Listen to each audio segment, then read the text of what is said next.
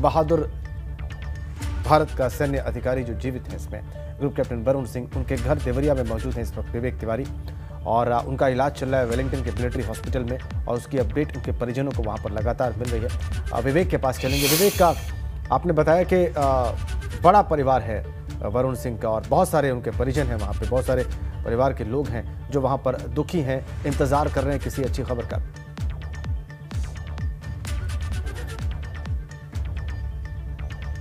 बिल्कुल राजेंद्र, देखिए ये देवरिया की ये जगह जहाँ पर हम मौजूद हैं, वो ग्रुप कैप्टन वरुण का पैतृक आवास है। यहाँ पर उनके परिवार के सभी लोग मौजूद हैं। यानी उनके पिताजी इस समय अस्पताल में हैं, कुन्नूर में, जहाँ पर वो भर्ती हैं। लेकिन उनके चाचा और उनके परिवार के जो चचेरे भाई हैं, वो सब यहाँ पर मौजूद हैं। इसके अलावा गाँव के तमाम लोग, आसपास के गाँव के लोग यहाँ आ गए हैं। और वरुण का हाल जानना चाहते हैं कि आखिर क्या हाल है, क्या स्थिति है?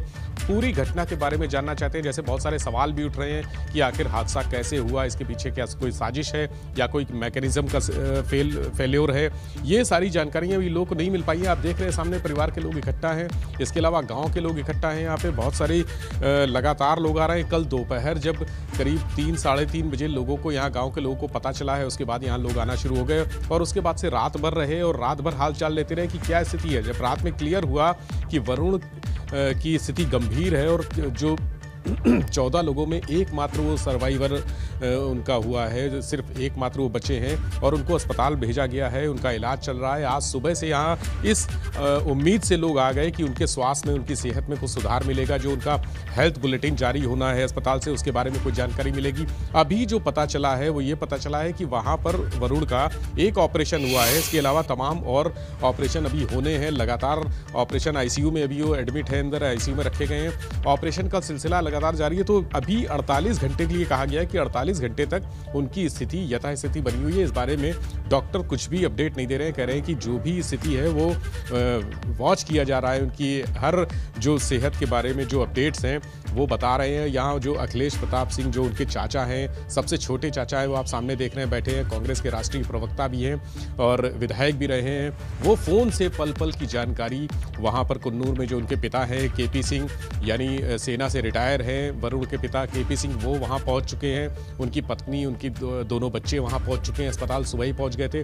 उनसे बात करके एक एक पल की जानकारी ले रहे हैं वहाँ क्या अपडेट चल रहा है डॉक्टर्स क्या कह रहे हैं अभी कितने ऑपरेशन होने हैं कौन से टेस्ट होने हैं ये सारी जानकारियाँ ले रहे हैं। तो यहाँ पर गाँव के लोग भी आ गए और उनकी भी चूँकि वरुण यहाँ के बहुत प्रतिष्ठित परिवार से संबंधित हैं इसके अलावा जो शौर्य चक्र से उनको सम्मानित किया गया तो उन्होंने न सिर्फ़ देवरिया का नाम रोशन किया देवरिया को पूरे देश में एक बड़ा नाम दिया, अपने नाम से जोड़कर तो लोग उनसे जुड़े हुए हैं, वो यहाँ पर अक्सर आते भी रहते हैं।